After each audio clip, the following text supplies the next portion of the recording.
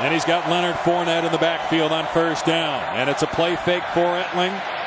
And trying to dump it off. And Fournette caught. to find one of their wide receivers here to get a first down. And they're going to dump it off to Fournette. All green in front of him. Fournette past the 30 yard line. Inside the 20. And he a gain of 38 yards.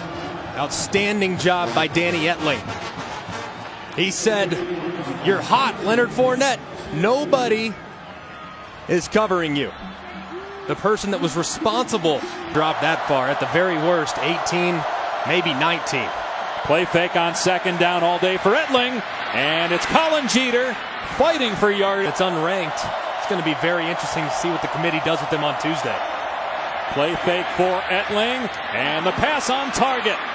Malachi Dupre. Coaches agree with you, so you're not the only one saying that. Etling incomplete. He's on the sideline now. Remember, missed three games with an ankle injury. Etling looking downfield and wide open receiver. First down to the 35.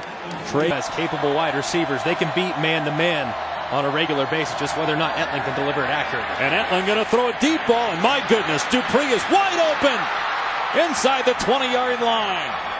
Finally tracked down, but he was wide open in the middle of the field. Mentioned beating man to man, one on one. Malachi Dupre delivers on a post and a perfect throw from Danny Etling. Got it up and down. When you're running the ball effectively, it's amazing what it does to the passing game. Look at the effect on the linebackers. All are keying on what's going on in the backfield. You have isolations on the outside, pitch and catch for Danny Etling. But these are the throws he has to make, the big play opportunities. He sees Malachi Dupre wide open, a Power 5 league with one or zero losses. Proofs in the pudding. You're in the college football playoff. Etling dropping it off to Moore. On second and six, they got the fullback J.D. Moore in again. Play action. Etling's going to throw it to Moore, and the pass on target. Close to a first down, poised in this game. He's played very well, very accurate, decisive, getting the ball out quick. His game against Ole Miss also. Nope, he's our quarterback. It was never a thought to go to the backup. Play fake again. Etling here being chased, throws it away. He was outside. Now, Arkansas is struggling against the run game. Pump fake for Etling, and not on the same page with the receiver. Incomplete. Can possibly give the ball back with three timeouts left. Etling in the pocket finds Fournette. And Fournette is knocked down. Talking about that third and 22, they scored a 44-yard touchdown pass. Play fake for Etling in trouble. Gets rid of the pass to Fournette. There's a flag down, and so is Fournette. Instead, they throw it out in the flat. That's behind Chark. And Chark breaks the tackle. He's ahead of half. Returned at the end of the first half.